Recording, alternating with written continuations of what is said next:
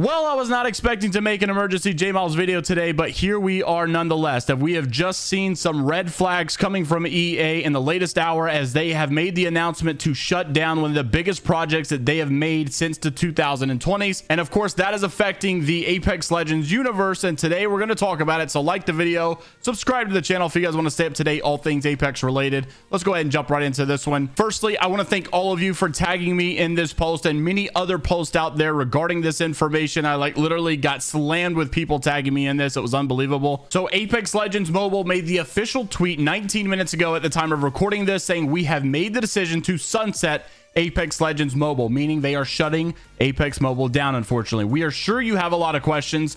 For more information, you can go on to FAQ here on their EA website and read the blog below. And stay tuned because a lot of these answered questions really pop up some red flags as to what EA is up to with the whole situation of revenue systems and how they proceed to go on with the universe of Apex Legends. And their official statement said this we have made the painful decision to sunset Apex Legends Mobile. A little bit of a nicer and a prettier way to say we're shutting the game down. This decision does not come with ease. Factors beyond our control have prevented us from maintaining the high quality experience and content that our players deserve. As a result, the game will sunset on May the 1st 2023 at 4 p.m. Pacific Standard Time, which it will no longer be playable. Our gratitude to our players and teams for joining us on the Apex Legends mobile experience, even if it was for a short while, is unending from the bottom of our hearts.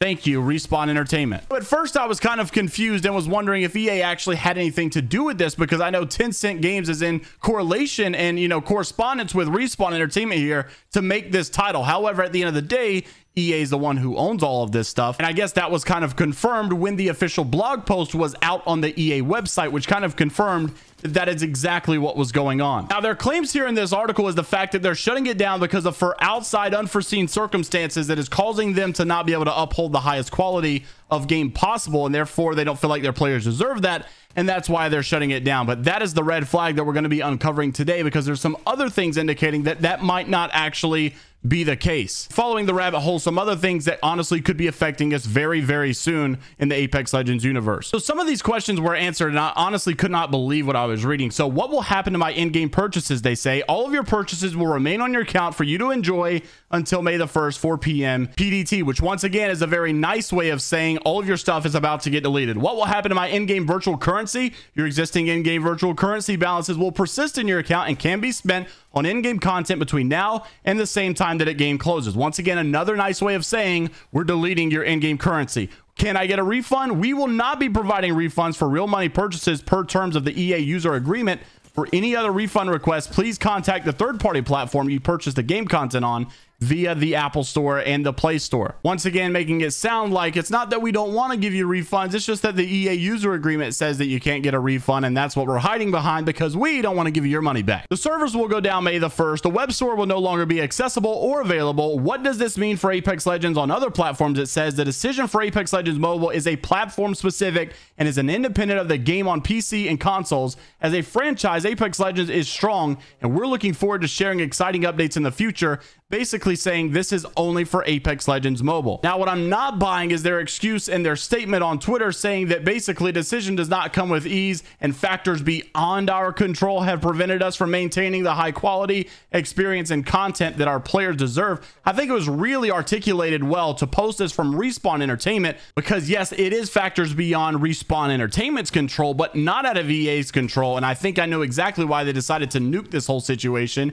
Even Alpha Intel saying breaking news, Respawn Respawn is shutting down Apex Mobile. This stuff is going all over the place, but just literally the day before they announced that they were nuking Apex Mobile, this is what came out from Alpha Intel. Apex Legends Mobile has hit $40 million in revenue, but it has declined in earnings and downloads. It made 3.5 million in December, which is down from 7 million in May of last year. The average downloads per day of Apex Mobile has dropped to only 40,000 and it was around 100,000 last year. The next season has been delayed due to bugs and data and findings were on mobilegamer.biz. Jordan Smash even saying that Apex Legends Mobile shutting down in less than a year and not even offering refunds is the most EA thing I've ever heard. And Human also saying everyone was talking about how much better Apex Legends mobile development was compared to the main game, but now it's being shut down. And look, there is a lot to glean from this. On one hand, there was a lot of amazing features that Apex Legends Mobile Had that I really wish that the main game of Apex had. However, there's also a lot of things that we looked at and respected for Apex Mobile for not being so money hungry. We saw them not long ago basically saying their intentions was to eventually make every item in the game free for them at some point.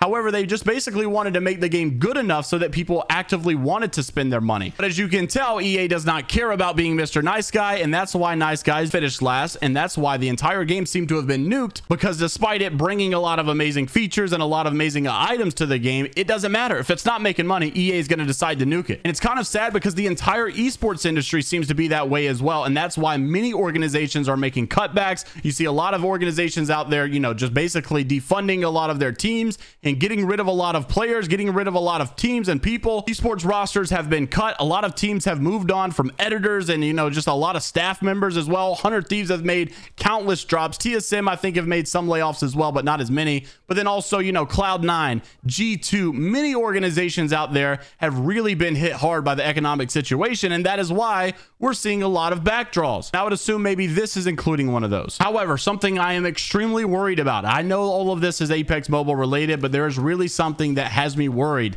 and that is the competitive scene of this game. We know that Apex Legends thrives based off the competition. We know that players like ImperialHal and, you know, like Sweet Dreams and these really big organizations like TSM and NRG are carrying hard right now the Apex esports scene. We've lost big teams like G2, like Cloud9, like Team Liquid as far as the esports roster goes. And I honestly cannot see a world where we continue to go in the right direction if EA does not really help this esports scene out. However, we know that based upon this information, they don't care about really helping. They care about making money. So not long ago, we saw that a lot of these team organizations seem to be in somewhat of a negotiation between EA regarding the team skins that should have been released in this game. However, it seemed like EA wanted to pay more of a flat rate to get these, you know, company organizations and logos and stuff on these skins. The organizations themselves wanted to get a little bit of a royalty based upon sales because obviously they rightfully deserve that. TSM knows that they can make more sales than pretty much any other organization out there, they're going to want a percentage, of course, and they rightfully should want a percentage. But it seems like these skins got canceled because none of these organizations could make an agreement with EA. Shortly after is when we saw a lot of these organizations leaving the esports scene, and I really wonder and worry with EA's whole situation of basically nuking an entire game because it's not making enough money. Are we going to be in a situation very shortly where they decide to nuke the ALGS and nuke the esports scene because it's not making maybe the money they thought it would? When you're losing some of your big fan favorite organizations right now from from the game, it is a scary situation given we have received some of these organizations in return like FaZe Clan that we didn't have before, but it's definitely something to worry about. And when you see their heart with money, I'm definitely concerned about the future of the competitive aspect of this game and where EA may seem to take it. Regardless, if you choose to take them at their word, the latest that they have to say is that as a franchise, Apex Legends is strong and they're looking forward to sharing exciting updates in the future I'm interested to see what you guys have to say about all this down in the comment section below. Make sure to leave a like on the video if you guys did enjoy and subscribe to the channel if you guys want to stay up to date all things Apex Legends related. Cannot believe I made two videos in a day. Been a very long time since I've done this. I'll see you guys in the next one. Take care of yourselves and I'll see you later, Gators.